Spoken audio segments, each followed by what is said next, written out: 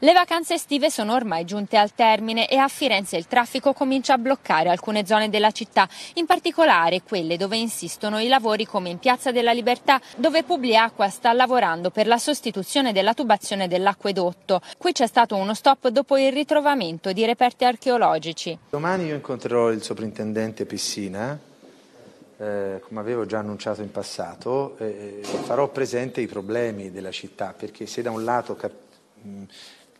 capisco diciamo, le esigenze dei saggi archeologici, della soprintendenza, dall'altro però c'è una città che deve andare avanti, c'è una città che deve vivere, c'è una città che si muove e quindi le esigenze di tutela del patrimonio storico-artistico devono assolutamente andare insieme alle esigenze della città, dei lavori pubblici, delle opere infrastrutturali.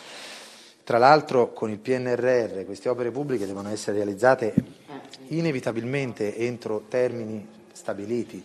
2023 appalto delle opere, 2026 realizzazione e rendicontazione, quindi rischiamo anche di perdere i soldi. Eh? Lo dico senza polemiche, domani ne parlerò col soprintendente e cercheremo una soluzione per Piazza Libertà.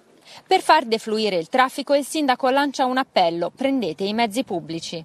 Approfittando del bel tempo, usare il più possibile mezzi come biciclette, eh, che quindi sono non solo ecologici ma sono anche sicuri dal punto di vista della pandemia. Evitare eh, laddove è possibile di utilizzare l'automobile e avere più fiducia nel mezzo pubblico perché i nostri mezzi sono completamente sanificati, parlo sia del trasporto urbano che di quello extraurbano, perché altrimenti eh, con, la, con l'inizio delle scuole rischiamo davvero un congestionamento non solo diciamo, dell'area urbana fiorentina ma anche di tutta l'area extraurbana.